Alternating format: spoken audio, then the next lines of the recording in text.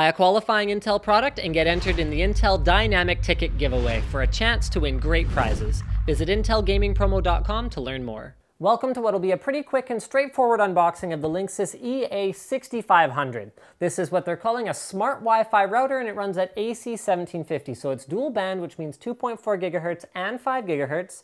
And remember, when they spec these maximum throughputs, they're actually stacking the total combined throughput on the multiple bands and across multiple technologies. So it's actually AC 1300 or 1.3 gigabit and N450 50. Now they're also calling it a smart Wi-Fi router, which basically means it's got a bunch of different features, including Why Smart Wi-Fi, the ability to utilize apps to customize your Wi-Fi home, get anywhere, access to your network, enable intelligent media prioritization. So some of these features are great. Some of them are not necessarily as great. The EA4500 with what they called at that time uh, Cisco Cloud Connect was, um, I, I, didn't end up using those features and I instead used the more bare bones firmware. But what I liked about the EA4500 is it was extremely fast, extremely powerful, and didn't rely on any fancy configurations in order to really get awesome performance out of it compared to some of the other routers that we tried. So we actually have quite a few of those deployed. So why are we upgrading to the EA6500, you might ask? And the answer is pretty straightforward. So number one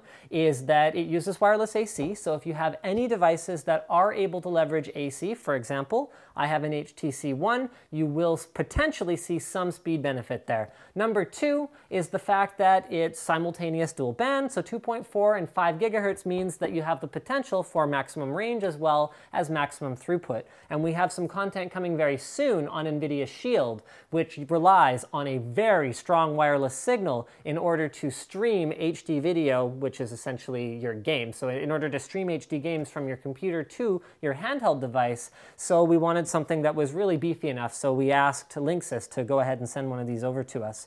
In terms of accessories, you get a huge power brick. I mean, this things. Uh, this, th I mean, I guess this is in line with what I already knew about AC.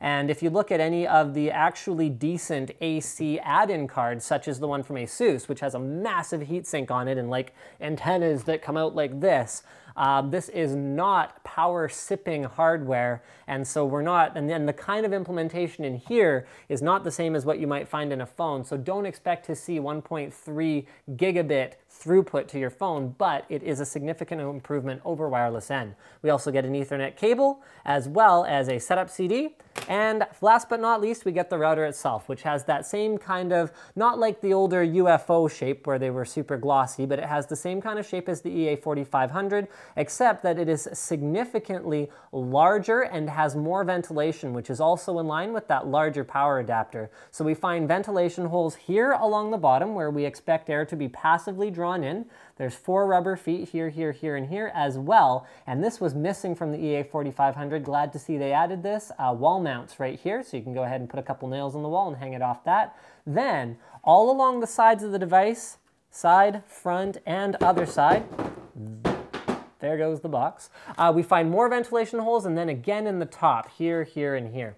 On the back, we find what Linksys is calling, and this should really be a cardinal sin, uh, rebranding WPS, I think they're calling it Simple Tap Technology TM for easy setup. That is a WPS button right there. So it allows you to, without entering any security keys, connect this to other devices. You've also got an integrated five port switch, four of which are normal ports and one of which is intended as a WAN port. So that's where you'll plug your broadband modem into.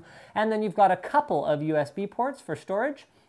So if you don't have something like a dedicated NAS, you can add storage to this simply by plugging things in there. There's often support for things like printers as well, a hardware reset button, as well as power input. So the last things that I should probably mention about this are the high-powered amplifier for ultimate range. Remember guys, 5 gigahertz routers do not necessarily have the same kind of range as 2.4 gigahertz routers.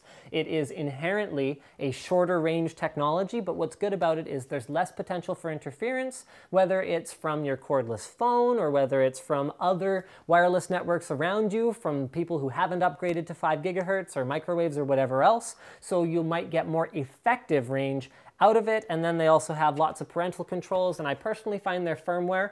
Easy to use, but not just easy to use, but quicker to use because you don't have to reboot your router in order to apply any changes, which is something that maybe people using aftermarket firmware take for granted. But for people who don't want to go down that route, when I compare this to something like D-Link's latest and greatest AC router, which requires a 300 second cooldown when you upgrade the firmware, and I think a 100 or 90 second cooldown when you apply any changes, this is much faster when you're trying to diagnose uh, any kind of random network issue. Thank you for checking out my unboxing and first look at the Linksys EA6500. Don't forget to subscribe to Linus Tech Tips for unboxings, reviews, and other computer videos. Let me know what you think about this video in the comments. Do like the video and do share it if you think there's anyone who would benefit.